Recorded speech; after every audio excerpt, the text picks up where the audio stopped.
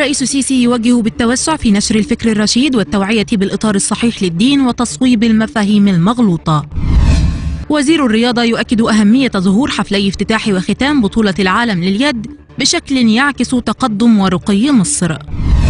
ووزيرة الثقافة تستقبل بائعة التين وتقرر دعمها بمنحة مجانية بمركز تنمية المواهب.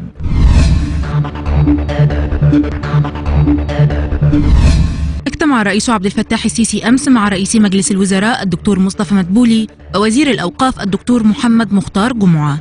ووجه الرئيس السيسي في هذا الإطار بالتوسع في نشر الفكر الرشيد والتوعية بالإطار الصحيح للدين وتصويب المفاهيم المغلوطة مع القيام في هذا الصدد بتطوير برامج تدريب الأئمة والواعظات وإلى أهمية بتضمين تلك البرامج على وسائل الدعوة الحديثة والدراسات الإنسانية لصقل قدرات الأئمة وتعظيم مهاراتهم في التواصل.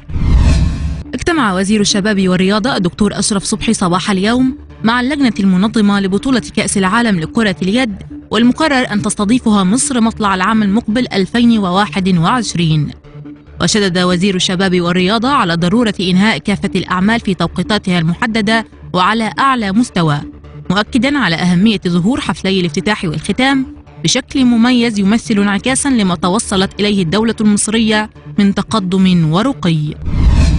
استقبلت وزيرة الثقافة الدكتورة إيناس عبد الدايم الطالبة هبة عبد الحميد التي انتشرت قصة كفاحها على السوشيال ميديا بسبب عملها اليومي المتواصل كبائعة تين صباحا ومساعدة بأحد عيادات العلاج الطبيعي مساء وإصرارها على تحقيق حلمها باستكمال دراستها واحتراف الغناء. وأكدت وزيرة الثقافة أن الطالبة هبة عبد الحميد تعد نموذجا مشرفا للفتاة المصرية التي ترغب في إثبات ذاتها وتحقيق طموحاتها. وشجعتها على بذل مزيد من الجهد والالتحاق بمنافسات الدورة القادمة من مسابقة الصوت الذهبي.